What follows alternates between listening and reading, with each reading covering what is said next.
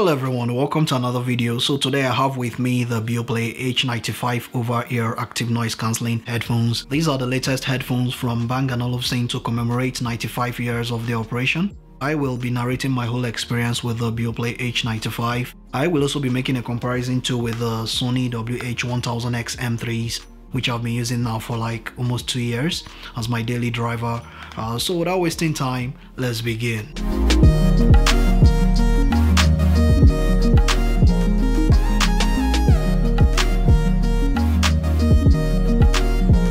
First of all, you can pick up these headphones in two color variants. You have the black and the mist gray, which I have here with me. Considering Bang & Olufsen is a premium brand, you definitely have to pay that high price tag. These cost $800. Yes, you heard me right.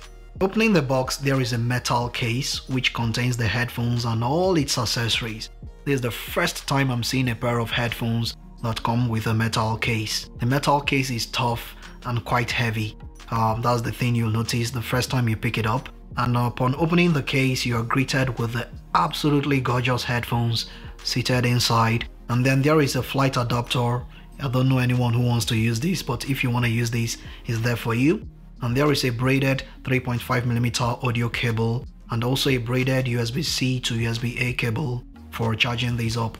Obviously, in terms of uh, design and build quality, the Sonys don't come anywhere close to these headphones. They are made of metal all around, so you get a very solid premium build quality. They are quite heavy as well, uh, they've got some weight. They are heavier than the Sony WH-1000XM3s and XM4s and the Bose NC700 headphones. The headband is padded with this patterned leather and underneath you have this woven fabric material so it's very soft and comfortable. In terms of movement they swivel slightly and they rotate to an angle of 90 degrees so you can place them around your neck or on a flat surface and they also fold up which is a first for Bang & Olufsen headphones so you can easily fold them up for easier carriage. The outer parts of the ear cups are made of metal as well. They quite shimmer when you place them on a light source. They pick up fingerprints a little bit, but not that much. Considering how much you are paying for these headphones, the headbands don't really adjust as smooth as I was expecting them to. You have to apply some pressure to adjust the headbands and when you apply that pressure the headbands don't really adjust as smooth as I was expecting. The ear pads are not as large as I thought they were going to be considering these are oval in shape.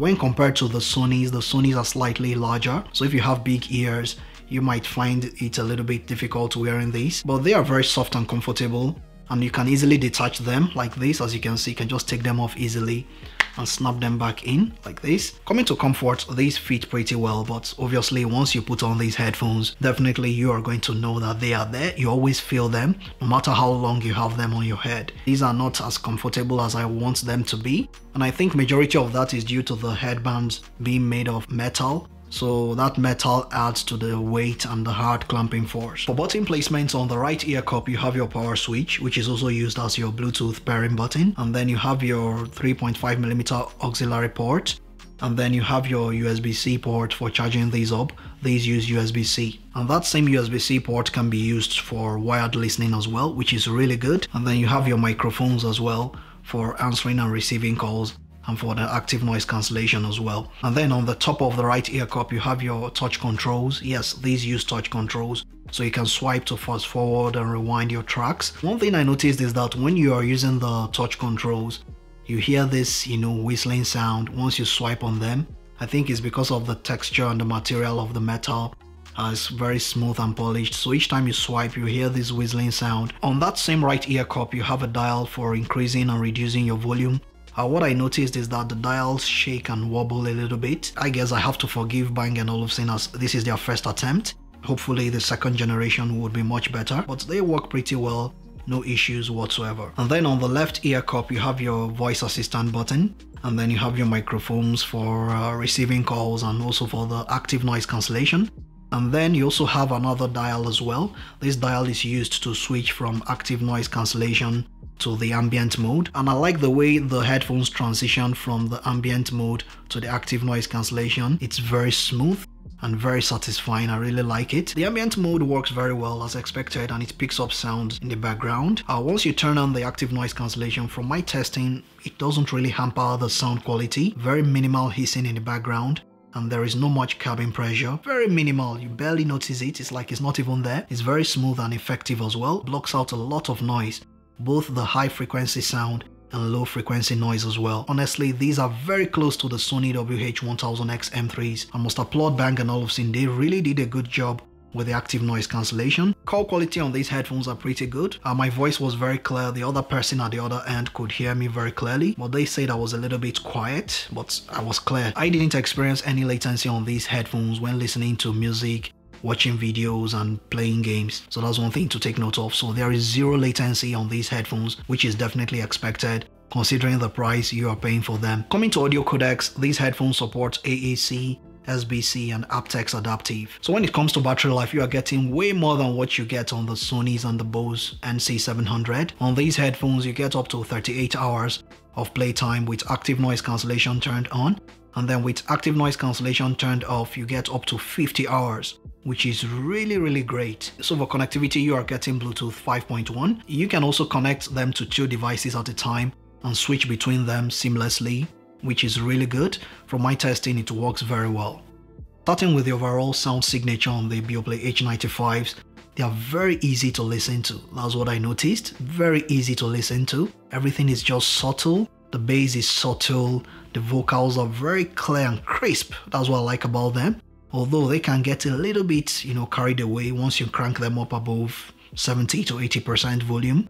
Uh, but overall, they still sound very clear, very crisp and I like the way the bass does not really bleed into the vocals. I did a comparison between these and the Sony's. What I noticed is that when you crank up the Sony's, the vocals, the bass and all the instruments get a little bit mixed up on the Sony's, but on the Beoplay H95s I noticed that these try really really hard to separate the vocals from the bass and from all the instruments. You can still hear everything distinctively while on the Sony's it's kind of modeled up together so that's where you really appreciate the capabilities of these headphones. The bass on the Sony sounds slightly muddy when compared to that on the Beoplay H95. So I must applaud Bang & Olufsen, they did a pretty good job. But one thing I noticed is that the upper bass is not really, you know, that boosted. So you don't really get that punch. Uh, but the lower bass is, you know, much more emphasized on these headphones. So if you like hip hop, you might not really like this as you don't really get that punch and thump like the Sony's. Another thing I noticed about these headphones is that they don't get as loud as the Sony's. In order to really get a kick and punch out of these headphones, you have to crank them up to around 50% and above. Uh, while the Sony's at 20 to 30%, you get lots of kick and punch when compared to the Beoplay H95. So that's one thing to take note of. Bear in mind on the app, you have some EQ presets so if you want a warmer sound, a brighter sound, you can do all of that. But you cannot really fully customize the sound settings of these headphones, uh, which is still a shame in my opinion. I just wish they would make that available. These are great, but are they worth the $800 asking price from Bang & Olufsen?